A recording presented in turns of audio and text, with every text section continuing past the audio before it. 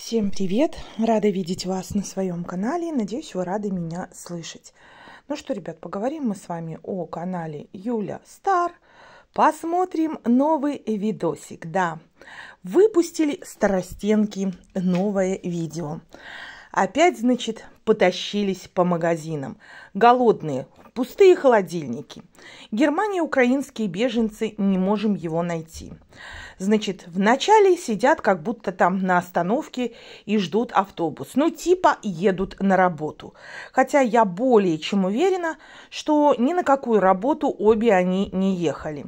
Потому что уж больно-больно потом они обсуждали термин у врачей, что невозможно записаться. И нет, и нет термина. И знаете, э, опять показала хлорка, да, свою гнилую душонку. Когда, значит, э, Хрюльня сидела в этом красном костюме, да, такая вся из себя, и в башмаках, она сказала, что дорогущие, дорогущие, 120 баксов аж стоят. И Хлорка сказала, вот, сказала цену, скажет, сами купили. И якобы и Юля такая, что, ну, нет, это нам Оля прислала. И типа на сайте можно посмотреть цену. Да пофигу, что там и сколько на вас стоит. Вы на себя посмотрите. Именно на себя. Разденьтесь и посмотрите на себя в зеркало. Чего вообще вы стоите без всей этой одежды? Что на вас не напяль? Это просто дикий ужас, самый настоящий. Вы знаете, я на самом деле уже в последнее время, я просто не могу, меня выворачивает прям наизнанку только от вида их не то чтобы наизнанку, да, с психологического э, взгляда. Нет, меня тошнит от них. Я тут присела, знаете ли, поужинала, потом думаю, посмотрю-ка я их. И, значит, думаю, ой, надо клубники поесть, а то все я ее никак не поем, как э, по, только соберусь уже поздно вечером, и уже как бы и не нужно ее есть. Хотя я ем клубнику всегда без сахара. Любые ягоды без сахара. Я терпеть не могу есть ягоды с сахаром. То есть, если ягоды, то исключительно без сахара, иначе никакого вкуса я в них не чувствую. Ну и, значит, Поставила я тарелку с клубникой, такая пахучая, такая вкуснючая. И вот дошла до момента, э, когда она, э, ой, все, девочки, мальчики, я эту тарелку унесла на кухню, и я очень сильно боялась, что у меня в эту тарелку та клубника вылетит, которую я уже успела съесть. Ну, значит, посидели-посидели они там на остановке. Эта дорогущая обувь оказалась совсем неудобной, да. И потом они уже якобы едут назад. И надобно им в магазин, но они что-то там обсуждают, все эти термины, что невозможно попасть ни к кардиологу, там еще к эндокринологу, а вот к неврологу, пожалуйста. Девочки, не туда записывайтесь. Запишитесь к психиатру и как пособие приложите свой канал. Вам точно инвалидность дадут. Вот посмотрите. Особенно вот этот видосик.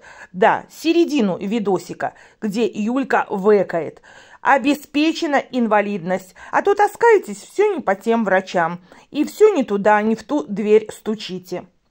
Ну и, значит, эм, зашли дальше они уже в магазин, походили по магазину совсем чуть-чуть.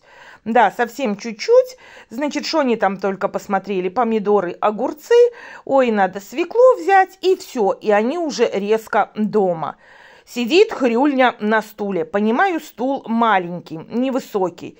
Сидит, значит, и вот реально она как баба на чайнике натянула это платье, которое, похоже, короткое на нее, чтобы не было видно ни ног, а как она сидит. И я думаю, что она такая широкая? И тут до меня дошло. Она же ноги вместе поставить-то не может. Ну никак, там же пузо. И у нее, получается, пузо свисает до пола, а ноги шире плеч, и вот поэтому и получилась баба на чайнике. Ну и дальше там у них распаковка. Но вместо распаковки в начале нашей старостенки Жрули, видимо, белка постучала по башке. Реально постучала белка по башке. Это, знаете, наверное, уже побочки голода. Э, они же так кушать хотели, так кушать хотели, что прямо аж не могли. Правда, Юлька сказала, что нажралась она колбасы, но все же им же всегда охота жрать, да. И, видимо, это уже побочки. И э, и ржачка это дебильная. Я говорю, вот реально, посмотрев эти кадры, тут же можно отправлять к психиатру. И тут же оденут смирительную рубашку, потому что с такой барышней будет даже опасно разговаривать. Никогда не знаешь, что ей стукнет в голову, белка или дятел. Дальше она даже советы раздавала, когда распаковывала, э, что сырочек нужно есть, особенно когда желчного нету. Да, но это она про себя, ей Лариса сказала про себя, говори про себя. У нее же нет желчного пузыря, желчного, да. А у Лариски, похоже, все на месте. Да, у нее все на месте, поэтому ей не обязательно сырочек есть, ей можно в три горла жрать. И пофигу, что она там этот инсулин колет или что там она еще себе колет, что ей там назначили. Я даже, ребят, и не считала, сколько они там понабирали этого сыра и Филадельфия одного вида, и второго вида, и масло, и что там, сыра три упаковки. Жесть, слушайте, опять они добрались до жрачки. Опять голоднехонькие поперлись в магазин.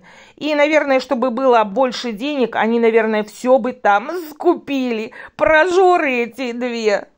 Вот знаете, я сколько на них смотрю, думаю, и вот жрут же, жрут, жрут, жрут, и ведь ничего им не болит, слушайте. Вот глядя на э, хрюльню, ведь ей ничего не болит, и бухает же она, и за воротник она прилично закидывает, и ее винишко и шампанское не устраивает. Ей бы ромчик, ей бы покрепче, чтоб по шарабанам шарахнуло сразу же – да, чтобы развезло так капитальненько, а потом, чтобы лежала и стонала от того, что Будон не отпускает. И вот пофигу, понимаете? Пофигу, тут следишь за своим здоровьем, боишься лишний раз что-то съесть, чтобы тебя не расперло. А этим до задницы. Скупают эту жратву, тазами жрут, и ведь не боятся, ребят, не боятся, что в один прекрасный момент их просто может сложить и все. Дальше хвастается, что авокадо э, рубль 39, а где-то видели 76 центов. Вчера, ребят, купила отборные, прям отборные авокадо, и килограмм стоит, ну, чтобы вам не соврать, где-то 3 евро примерно и 10 центов. Килограмм. Отборные, такие, знаете, не твердые, разрезаешь, а они вот прям как маслица. Такие классные. А здесь она сравнивает цены. Я не знаю, какие цены там в Украине, но у нас в Беларуси вот именно э, май-июнь авокадо очень дешевые. И, значит, Юлька сказала, что для пенсионеров э, такие продукты, да, это роскошь, и пенсионеры не могут купить, да, в Украине. А вот в Германии могут себе пенсионеры купить, все могут себе позволить и авокадо, и Филадельфию. Короче, пенсионеры себе все позволяют, а вот в Украине это жесть. Ну да, Юлек, поэтому вы и жрете в три горла. Вы жрете никак не нажретесь. Два года жрете, жрете и все никак не нажрете. Так голодали в Украине, что здесь готовы жрать, пока не треснете. Вот реально, пока не треснут. Ой, говорит, и мы взяли мясо с Ларисой. Да, две упаковки, каждый по упаковке нарыла. Только эти специи смоем и якобы будем готовить. Кто бы сомневался, интересно, сколько упаковок мяса они взяли. А дальше девицы продемонстрировали холодильник, что все пожрали, пустота. Одна алкашка стоит, шампанское. Ну, мы понимаем, что Жируля не увлекается шампанским, ей покрепче надо. Поэтому тут ничего не, нет удивительного. Наверное, шампанское только для похмелятора. Угу. И прикиньте, все сожрано, почистили просто все. Да, это такие прожоры, что все сожрали. А там же такие э, приличные два батона колбасы у них лежало. И сосиски, помните, показывали. Уже и это все смолотили. Я не думаю, что одна хрюльня молотила. Конечно же, хлорка тоже там помогала ей. Нет, ну у них же все наполовину. Если мясо, то по упаковке на нос. Если курочка, то по курочке на нос. По-другому просто никак. И за колбасу отчитались, что за пять дней съели. Да за каких, блин, пять дней? Там за один день уложили. Я помню, как она сосиски ела. Помните, ребят? Одну за одной просто, одну за одной. Как семечки щелкала. Короче, ребят, у меня просто нет слов с этих кадушек. И вы знаете, они больше ни о чем не могут говорить. Абсолютно ни о чем потому что их ничего не интересует, только жрачка, жрачка. И вот они до конца видеоролика обсуждают, что вкусное, что невкусное, какие сосиски вкусные, какая колбаса вкусная, какая дороже, какая дешевле. И все, тем других нет. А если о чем поговорить, да, кроме жрачки, так выискивают темы всякие в интернете. Там почитали, там почитали. Представили, что это им друзья рассказали. Хотя на самом деле Какие друзья, какие знакомые? Они только с друг дружкой и общаются. Отчитались, что и селедку сожрали, и тараньку тоже сожрали. Короче, все, все пропустили через свои эти кишки и спустили в унитаз. И так каждый день, ребят. Прикиньте, какие деньжищи они спускают в унитаз. Я, ребят, не могу. Каждый раз смотрю и каждый раз пребываю в шоке. В общем, мои дорогие, пишите, что думаете вы по этому поводу. Оставляйте свои комментарии, оставляйте свое мнение. Ну а я хочу напомнить, что это лично мое мнение, и я его никому не навязываю. И на этом я буду заканчивать и прощаться с вами.